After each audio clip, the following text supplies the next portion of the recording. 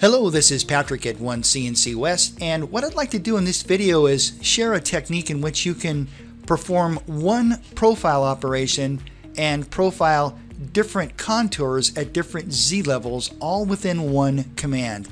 This example you can see we have a solid model and I've got this light blue geometry created where I'd like to perform some profiling and you'll notice those are all at different Z levels.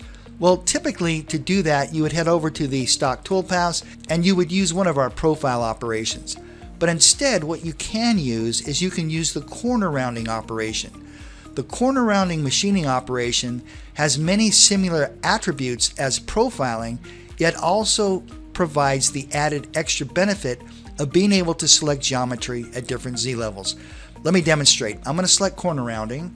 I want to climb cut down here, so I'm going to left click, left click the outside arrow and then hit the F3 key on the keyboard. I'm going to now left click, left click this arrow, F3, and then I want to profile this upper Z level as well. So I'm going to left click, left click the outside arrow and hit the F3 key on the keyboard. Now with all that geometry selected at different Z levels, we're just going to right hand mouse click. And within the Select Tool dialog box, instead of selecting Corner Round, we just selected End Mill. And just an extra side tip, when you expand this and you see all of these tools that are grayed out, that simply means that OneCNC doesn't suggest we use those. For corner rounding, it's going to default to rounding, and that's why that one's ungrayed. But just because these are grayed out doesn't mean that you can't use them. So I'm going to use End Mill, Got turret position. I'm going to say the speeds and feeds are okay using a half inch diameter end mill. I'll click next. Our clearance values look fine. We'll click next on that.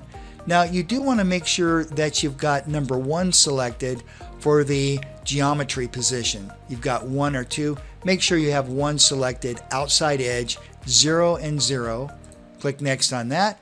And then just like with profiling, we can arc in, arc off. And that's exactly what I'm doing here. I'm arcing on at 45 degrees and arcing off at the same value. Let's click finish and let OneCNC generate the toolpath. And there we go. Let's quickly take this into preview. I'm going to right hand mouse click, select preview toolpaths. And here we go. You can see we're profiling the bottom. We're arcing on. I'm going to profile all the way around. I'm going to speed this up just a little bit. Now we're going to pull up in Z, climb cut, pull up in Z, and climb cut as well. So with this technique, you can profile many different Z levels using one profile operation. And don't forget, you can always rename your machining operations by double clicking. And then here within the NC Processing dialog box, you could just delete that and type in something like multi-level profile.